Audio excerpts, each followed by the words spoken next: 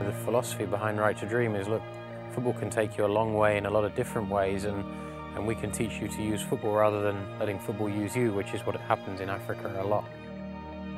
The power of football to capture these kids' imaginations and to, to improve their lives and to educate them is quite phenomenal. You have to learn how to play one touch. We've really tried to encourage the kids to, you know, to, to formulate their own opinions and ideas and make tough decisions for themselves.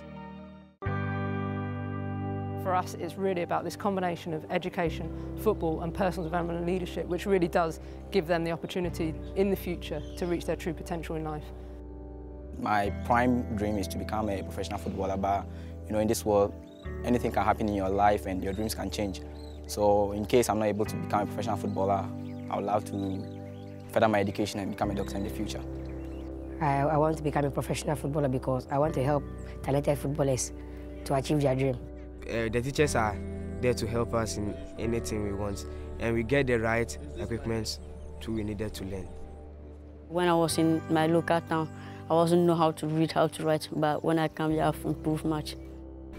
People will not let you sit alone. They'll come and ask you your name, talk to you, and they'll, they'll make you feel happy here, and I like it. Everybody get to help each other.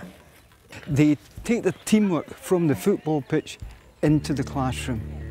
And in the classroom, they are a different sort of team, but they've still got the same sense of oneness, a sense of, of purpose. Uh, they have a humility, they have a work ethic, they have an honesty, which when you channel it right, as I hope we do here, they're like no other kids.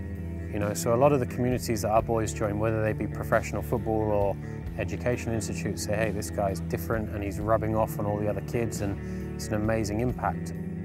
So I think it's really good for me to be back and then see my family and then friends and then lots of the academy boys, which mean a lot to me. I think football is an unbelievably powerful tool in Africa, more than anywhere else, to make a significant contribution. Um, yeah, I definitely believe that.